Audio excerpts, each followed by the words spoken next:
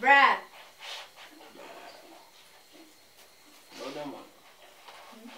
Oh yeah. Let's do these. Let's let's do the thing. Some serious symbolism right here, man. The abstraction is on the canvas. bam, bam, bam. That's actually the kind of work that I make. I'm vibrant, full of life. Th- That's another thing about me. I don't. I really don't care one one for how you should do things. I just do what I think sh- I should be doing. Who's that? Who's that? Uh, that's a friend of mine that said yes to my crazy ideas. So, but it's it's not actually about him. It's uh, some symbolism going on. But yeah, that's that's actually the kind of work that I make.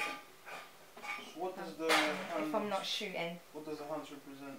Uh, the hands represent. It was based on the seven deadly sins or something. Yeah, seven deadly sins. And um, I was looking at how, you know, um, back in the day they used to have punishment. So there's like a painting that they did back in the, I think 18th century, I believe, Hmm. where they had like the seven deadly sins, and these are the repercussions if you do these sins. And then I thought, hold on, the most powerful thing uh, as a human is using body language and sign language and stuff like that. So I got very intrigued and um, I hollered at a couple of people and wrote the seven deadly sins, like just the words, and then said, and then I said to them, how would you, if you were to use your hands and you couldn't speak, how would you sign these words? And um, this is this was the best out of all of them and basically pride, um, greed, gluttony, you know, all of that stuff is in there. And then the centerpiece is you, uh, is based on the the notion of you being created in the image of God. Hmm. So I lit the hands really well because you know we're always attracted to things like if it because I'm looking from a religious point of view. Uh, in a religion, you're always attracted to things that are supposed to be sinful, but I don't believe in oh this is good, this is bad, and that's a sin and that's not. That's just part of being human. So it was the sins.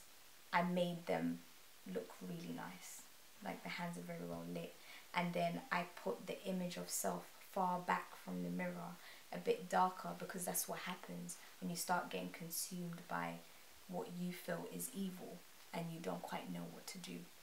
Um, and it's like, oh yeah, I don't really like the image of myself anymore. But that's the most powerful image. You see the face first before you see the hands, Mm. even though the hands are well lit and the face is a bit far. And what's the reason with behind. the head and being the, the round the round, because yeah. the circle represents um, eternal life. So there's there's a lot of like um, looking at I was, is really looking at Christianity and how these beliefs, what these beliefs mean, and how I see them and my perception of these things. So it's, the circle's usually a symbol of eternity, eternal life. You know, that's it. That's you. So the face is in the circle representing I am created in the image of God, and that's not going to change. You're always going to be like that. So, regardless of what is surrounding you, you're always going to have to face yourself, because that's that's eternal.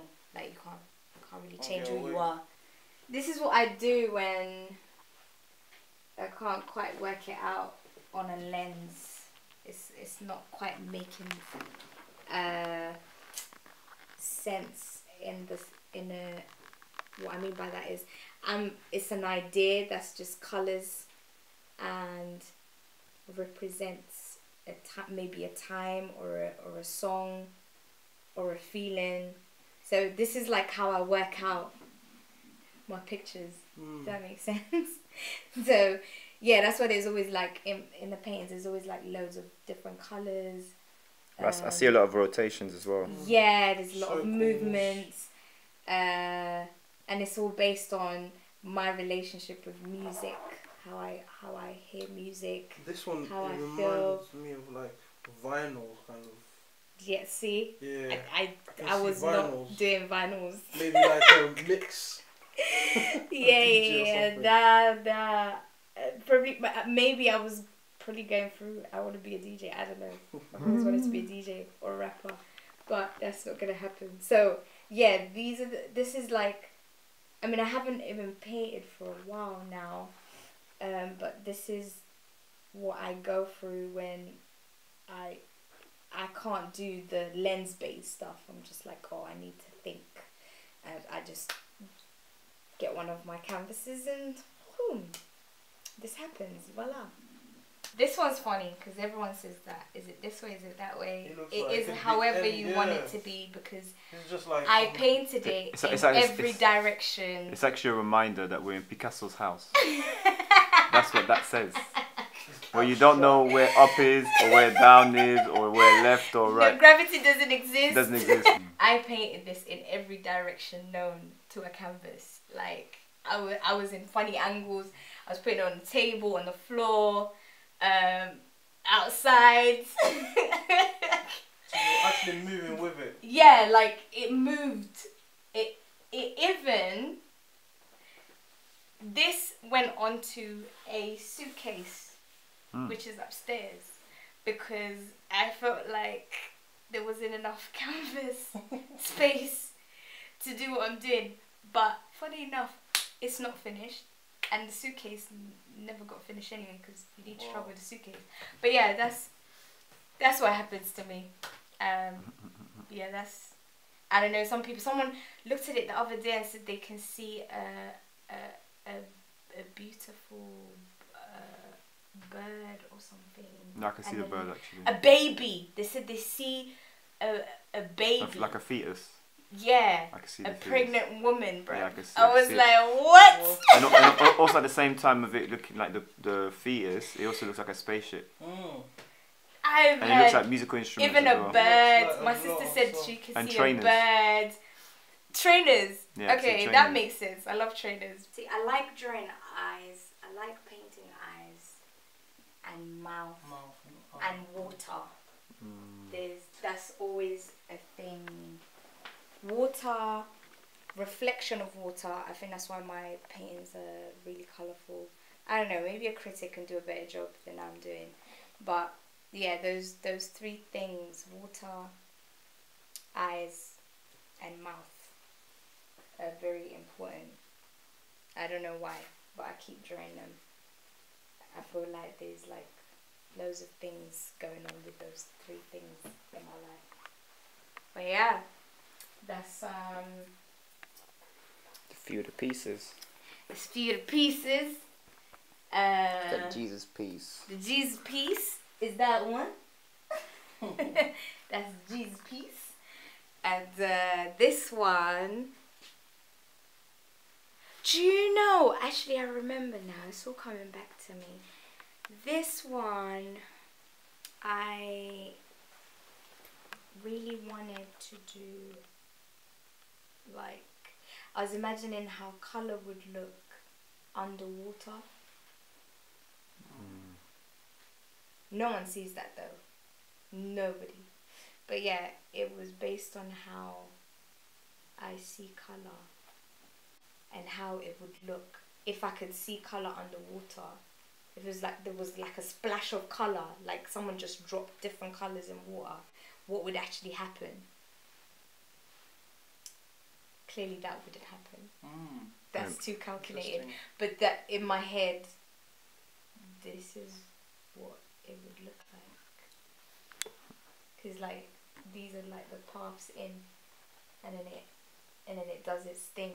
But 'cause it's because it's also because I feel like water has its own life. So if it likes something, or if it's attracted to something, it moves it in a in a way that gives it life and yeah. yeah. yeah and and makes it blossom. And if it doesn't, it just gets rid of it and dies itself as well.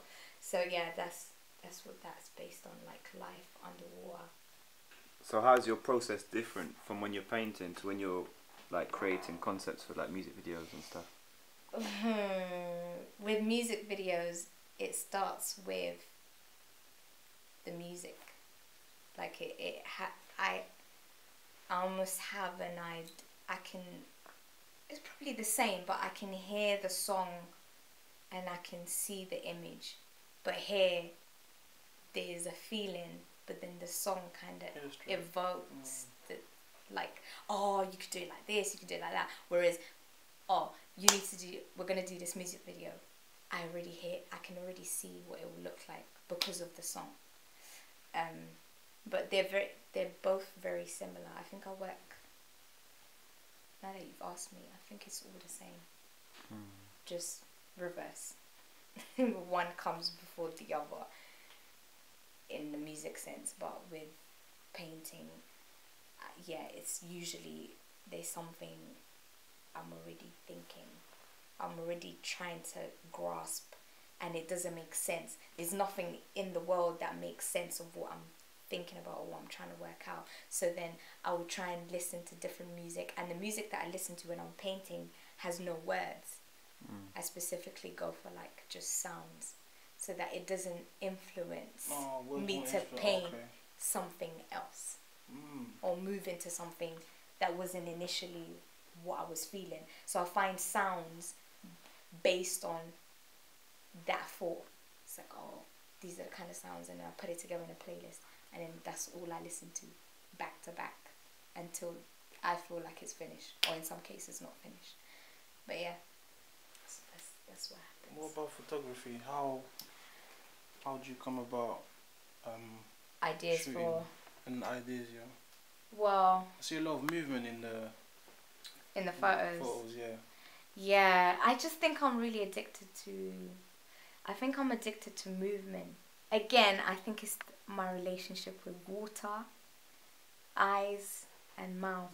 Like I've got this thing about visuals, and I feel like visuals should always have a feeling of movement. Like you're going from one place to another, and shoot and music is probably, you know, two two two birds with one stone Mm. so for me when i'm shooting when i'm shooting music um one i shoot only what i like which is easy for, for me it's easy. And then i'm not i'm not kind of like shooting because i'm not a concert photographer. I shoot music on stage. I shoot performances on stage that are to do with music, but I am not a concert photographer.